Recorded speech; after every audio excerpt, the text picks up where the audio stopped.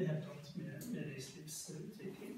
Eh, det er godt å være i gang igjen med The Way.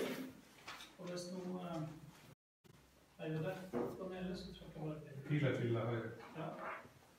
Jeg har trykt tre ganger. Kanskje du kan prøve å ta den på skjermen? Kanskje det? Det en liten touch, kanskje. Jeg vet ikke. Ja, det var litt dypt, skjønner jeg. Ja, se her, ja. Eh, Det er godt å være, være i gang med, med det har fått et lite sånn eh, kunstig opphold mellom eh, eh, avslutninga av første delen av forprosjektet og før vi med siste delen av forprosjektet. Men eh, egentlig så har det bare styrka eh, attraksjonsutviklinga fordi at hvis vi eh, ser på det som skjer rundt oss, eh, så er det en vanvittig vekst i det internasjonale, det nasjonale, det regionale og det lokale reiselivet. 4% økning i verdensturismen. Dette er 2016-tall sammenligna med, med året før.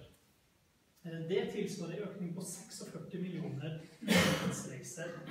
Eh, Bare den, eh, den, den lille 4 veksten.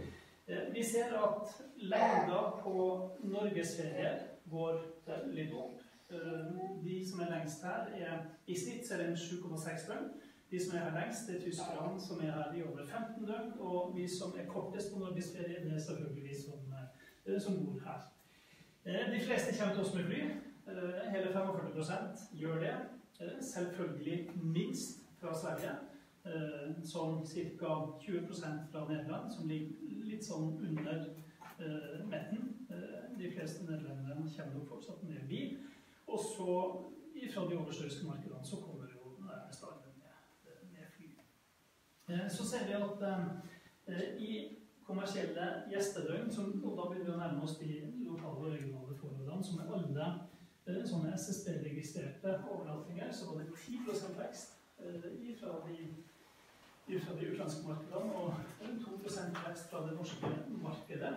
Eh, Det er sommeren som vokser mest på, eh, når vi ser på landstallene, men for Nord-Norge så er det vinteren som har den, den bratteste utviklingen. Og det er jo litt fint, fordi at vi eh, har en relativt bra eh, base med gjester om sommeren, og så eh, får vi opp vintertrafikk som gjør at vi kan drive hele året.